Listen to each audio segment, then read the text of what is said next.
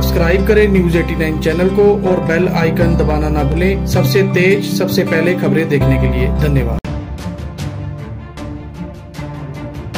आज यहाँ के डालिमा विहार में स्थित स्मृता नर्सिंग होम में डॉक्टर सरबजीत सिंह चमारू वालों की अगुवाई में बैसाखी के मौके पर पूर्व सैनिकों का सम्मान करने के लिए एक सम्मान समारोह सहित मुफ़्त मेडिकल चेकअप कैंप का आयोजन किया गया, जिसमें माहिर डॉक्टरों की टीम ने लगभग 600 के करीब मरीजों की मुफ़्त बीमारियों की जाँच कर मौके पर ही दवाइयाँ भी उन्हें मुफ़्त दी गई। इस मौके पर इस सम्मान समारोह में पहुँचे मुख्य मेहमान हल्का गनौर के विधायक श्री मदन लाल जलालपुर, पीपीसीसी सदस्य सरदार निर्भय सिंह मिल्टी नगर कौंसिल के प्रधान श्री नरेंद्र शास्त्री व लोक भलाई ट्रस्ट के प्रधान व कांग्रेस पार्टी के सीनियर नेता श्री जगदीश कुमार जग्गा ने भी न्यूज़ 89 से बात करते हुए जहाँ डॉक्टर सरबजीत सिंह द्वारा पूर्व सैनिकों का सम्मान करने को एक, एक बढ़िया कदम बताया वहीं उन्होंने स्मृता नर्सिंग होम द्वारा लगाए गए मुफ़्त मेडिकल चेकअप कैंप की तारीफ़ करते हुए कहा की मैं कहूँगा साल का ਇਹ ਬਹੁਤ ਵਧੀਆ ਇਹਨਾਂ ਨੇ ਸਾਡੇ ਦੇਸ਼ ਦੀ ਸੇਵਾ ਕੀਤੀ ਹੈ, ਸਰਹੱਦਾਂ ਦੀ ਰਾਖੀ ਰੱਖੀ ਹੈ। ਰਿਟਾਇਰਮੈਂਟ ਤੋਂ ਬਾਅਦ ਇਹ ਹਰ ਸਾਲ ਕੋਈ ਨਾ ਕੋਈ ਤਿਉਹਾਰ ਮਨਾਉਂਦੇ ਰਹੇ ਨੇ, ਜਿਵੇਂ ਅੱਜ ਵਿਸਾਖੀ ਦਾ ਦਿਹਾੜਾ ਬਣਾਇਆ। ਜਿਹੜੇ ਸਾਡੇ ਡਾਕਟਰ ਸਰਬਜੀਤ ਸਿੰਘ ਜੀ ਚਮਾਰੋ ਨੇ, ਇਸ ਜਥੇਬੰਦੀ ਨਾਲ ਬਹੁਤ ਵਧੀਆ ਤਰੀਕੇ ਨਾਲ ਜੁੜੇ ਹੋਏ ਨੇ। ਮੈਂ ਦੇਖਿਆ ਪਿਛਲੇ ਕਾਫੀ ਸਮੇਂ ਤੋਂ, ਕੋਈ ਇਹਨਾਂ ਦਾ ਫੰਕਸ਼ਨ ਹੋਵੇ, ਡਾਕਟਰ ਸਾਹਿਬ ਆਪ ਮੁਰੇ ਹੋ ਕੇ ਕਰਾਉਂਦੇ ਨੇ। ਜਿਹੜਾ ਅੱਜ ਸਭ ਤੋਂ ਵੱਡੀ ਖੁਸ਼ੀ ਮਿਲੀ ਇੱਥੇ ਆ ਕੇ, ਜਿੰਨੇ ਇਹਨਾਂ ਦੀਆਂ ਜਨਾਨੀਆਂ, ਬੱਚੇ, ਸਾਡੇ ਸਾਬਕਾ ਫੌਜੀ, ਇਹਨਾਂ ਦਾ ਜਿਹੜਾ ਮੈਡੀਕਲ ਚੈੱਕਅਪ ਕਰ ਰਹੇ ਨੇ ਸਾਰਾ ਕੈਂਪ ਲਾ ਕੇ, ਇਹ ਬਹੁਤ ਸ਼ਲਾਘਾਯੋਗ ਆ। ਅੱਜ ਦਵਾਈ ਬਹੁਤ ਜ਼ਰੂਰੀ ਹੋ ਗਈ ਹਰ ਇਨਸਾਨ ਲਈ। ਇਸ ਕਰਕੇ ਇਹ ਜਿਹੜਾ ਮੈਡੀਕਲ ਕੈਂਪ ਲਾਇਆ ਡਾਕਟਰ ਸਾਹਿਬ ਨੇ, ਡਾਕਟਰਾਂ ਦੇ ਸਹਿਯੋਗ ਦੇ ਨਾਲ ਮੈਂ ਇਹਨਾਂ ਨੂੰ ਵਧਾਈ ਦਿੰਦਾ। ਇਹੋ ਜਿਹੇ ਕੰਮ ਜਦੋਂ ਕਰਨਗੇ, ਸਾਬਕਾ ਫੌਜੀ ਸੇਵਾ ਕਰਨਗੇ, ਤਾਂ ਪਰਮਾਤਮਾ ਹਮੇਸ਼ਾ ਚੜ੍ਹਦੀ ਕਲਾ ਚ ਵੱਡ ਭਾਗਾ ਦਿਨ ਵਿਸਾਖੀ ਦੇ ਪਵਿੱਤਰ ਤਿਹਾਰ ਨੂੰ ਮਨਾਉਣ ਖਾਤਰ ਅੱਜ ਜੋ ਸਮੁੱਚੇ ਐਕਸਾਮੀ ਮੈਨੇ ਤੇ ਇਕੱਤਰ ਹੋਏ ਆ, ਬਹੁਤ ਰਿਣੀ ਹਾਂ ਡਾਕਟਰ ਸਾਹਿਬ ਦਾ, ਤੁਹਾਡੀ ਸਾਰੀ ਸਮੁੱਚੀ ਟੀਮ ਦਾ, ਜੋ ਨਿਮਾਣੇ ਨੂੰ ਮਾਣ ਬਖਸ਼ਿਆ, ਆਪ ਸਭ ਦੀ ਸੰਗਤ ਕਰਨ ਦਾ।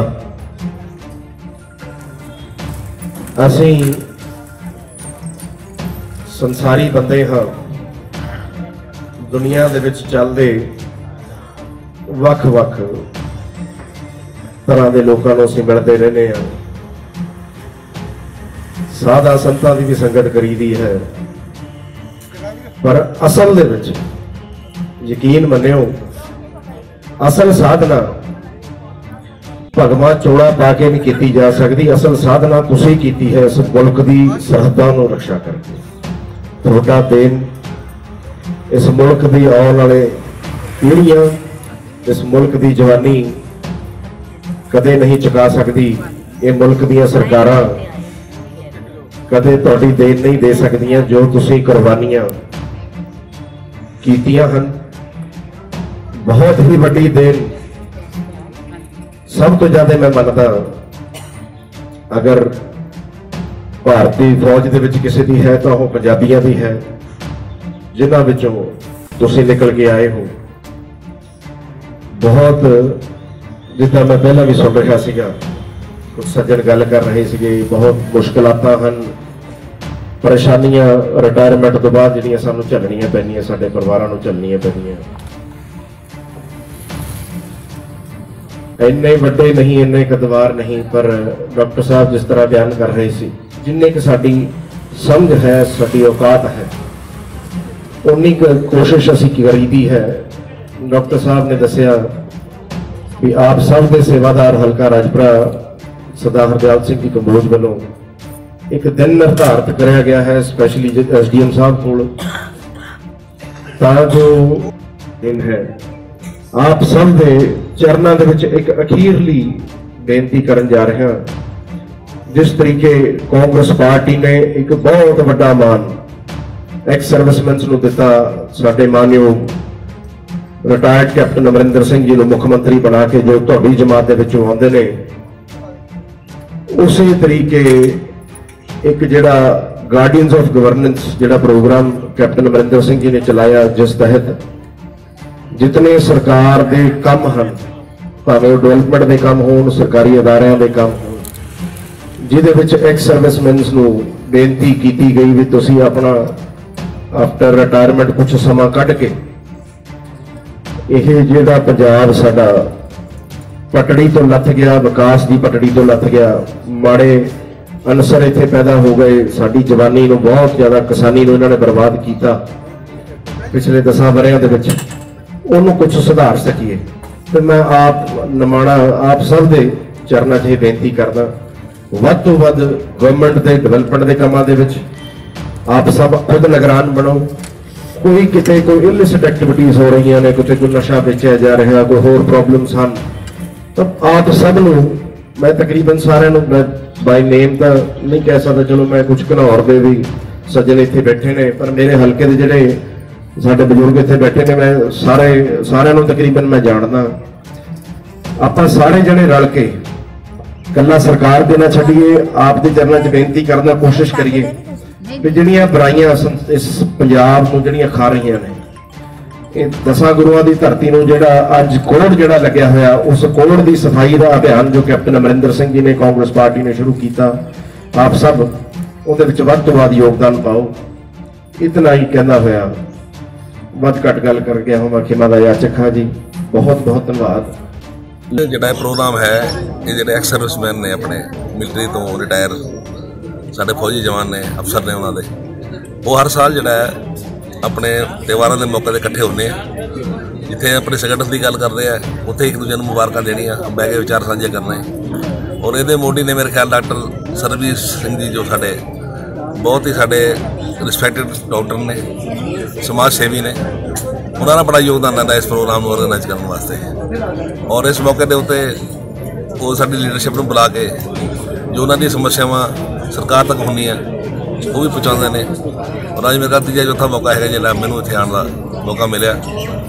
ਔਰ ਮੈਂ ਇਹਨਾਂ ਨੂੰ ਵਿਸਾਖੀ ਦੀ ਜਿਹੜੀ ਵਧਾਈ ਦਿੱਤੀ ਹੈ ਐਮਐਲਏ ਸਾਹਿਬ ਅੱਜ ਨਹੀਂ ਪਹੁੰਚ ਸਕੇ, ਸੀ ਸੀਐਮ ਸਾਹਿਬ ਦੇ ਆਉਣ ਕਰਕੇ। ਉਹਦੇ ਵਾਸਤੇ ਵੀ ਇਹਨਾਂ ਨੂੰ ਜਾਣੂ ਕਰਾਇਆ ਬਹੁਤ ਅੱਛਾ ਉਪਰਾਲਾ ਜੋ ਡਾਕਟਰ ਸਰਜੀਤ ਸਿੰਘ ਕਰਦੇ ਨੇ, ਸਾਰੇ ਲੋਕਾਂ ਨੂੰ ਇਕੱਠਾ ਕਰਕੇ। ਤਿਉਹਾਰ ਵੀ ਮਨਾਉਂਦੇ ਨੇ ਵਿਚਾਰ ਵੀ ਸਾਂਝੇ ਕਰਦੇ ਨੇ। ਅੱਜ ਅਸੀਂ ਵਿਸਾਖੀ ਦੇ ਤਿਉਹਾਰ ਤੇ ਸਾਰੇ ਸਾਬਕਾ ਫੌਜੀਆਂ ਨੂੰ ਇੱਕ ਤਾਂ ਵਿਸਾਖੀ ਦੀ ਵਧਾਈ ਦਿੰਦਾ ਹਾਂ ਤੇ ਉਸ ਵਧਾਈ ਦੇ ਨਾਲ ਨਾਲ ਅਸੀਂ ਇੱਕ ਮੈਡੀਕਲ ਚੈੱਕਅਪ ਕੈਂਪ ਵੀ ਲਾਇਆ ਹੈ। ਇਸ ਦੇ ਹੱਡੀਆਂ ਦੇ ਮਾਹਿਰ, ਅੱਖਾਂ ਦੇ ਮਾਹਿਰ ਮੈਡੀਸਨ ਦੇ ਮਾਹਿਰ ਹਾਰਟ ਦੇ ਮਾਹਿਰ ਇਹ ਸਾਰੇ ਹੀ ਡਾਕਟਰ ਅਲੱਗ-ਅਲੱਗ ਵਿਭਾਗਾਂ ਦੇ ਡਾਕਟਰ ਸਾਬਕਾ ਫੌਜੀਆਂ ਤੇ ਉਹਨਾਂ ਦੇ ਜਿਹੜੇ ਡਿਪੈਂਡੈਂਟ ਹੈ ਜਾਂ ਉਹਨਾਂ ਦੇ ਆਸ-ਪਾਸ ਦੇ ਲੋਕਾਂ ਨੂੰ ਫ੍ਰੀ ਚੈੱਕਅਪ ਕਰ ਰਹੇ ਹੈ। ਦੇਖੋ, ਇੱਕ ਇਹ ਉਹ ਕੌਮ ਜਿਨ੍ਹਾਂ ਨੇ ਦੇਸ਼ ਦੀ ਸੇਵਾ ਕੀਤੀ।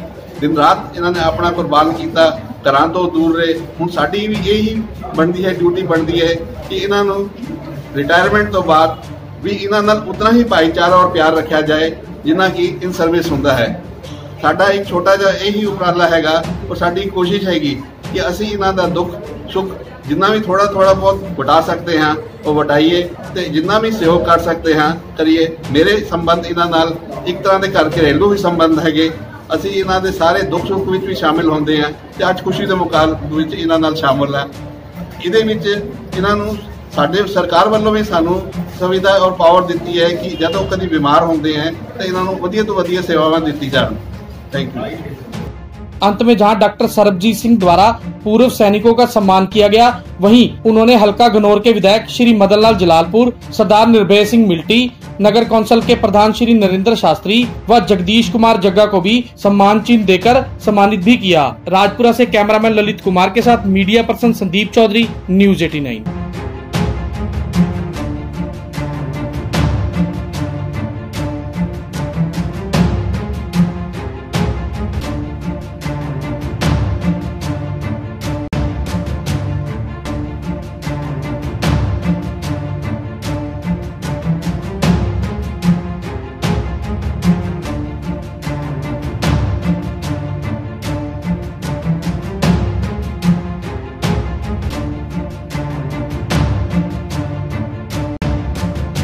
सब्सक्राइब करें न्यूज 89 चैनल को और बेल आइकन दबाना ना भूलें सबसे तेज सबसे पहले खबरें देखने के लिए धन्यवाद